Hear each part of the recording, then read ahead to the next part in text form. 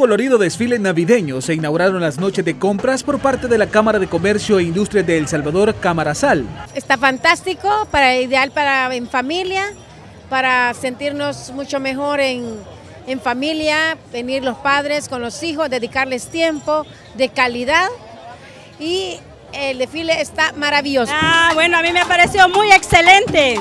Hemos venido a disfrutar con la familia y con unos amigos que me encontré aquí pero me ha parecido excelente, he disfrutado y gozado. En la edición número 52 de las noches de compras, el presidente de Camarasal invitó a todas las familias a disfrutar de esta fiesta de Navidad y fin de año. Bueno, estamos muy contentos aquí en nuestra noche de compras de la Cámara de Comercio e Industria de Salvador. Es un evento ya con mucha tradición que hemos ejecutado por más de 52 años. Estamos contentos de estar aquí reunidos con miles de salvadoreños y lo que buscamos es que sea un momento de sano esparcimiento, de mucha alegría, de mucho entretenimiento. Hay regalos, hay Santa Claus, hay modelajes, hay música. Muy contento de estar aquí y esto marca el inicio de las ofertas, el inicio de las noches de compras, el inicio de las compras navideñas, el inicio de este repunte de comercio que todos los años, todos los años se espera para las empresas que hacen todo su esfuerzo por este fin de año. Así que muy contentos de estar aquí el día de hoy y esperamos que este sea ya el inicio, el banderillazo de salida para las noches de compras y las épocas navideñas. Podrán ver atrás de miles de personas que vienen a disfrutar y vienen a celebrar el inicio de las noches de compras de las fiestas navideñas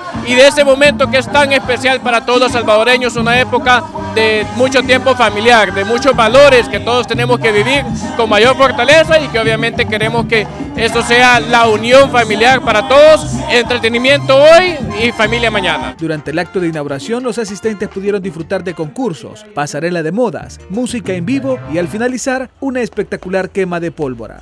Informó para la prensa gráfica.com Melvin Alas.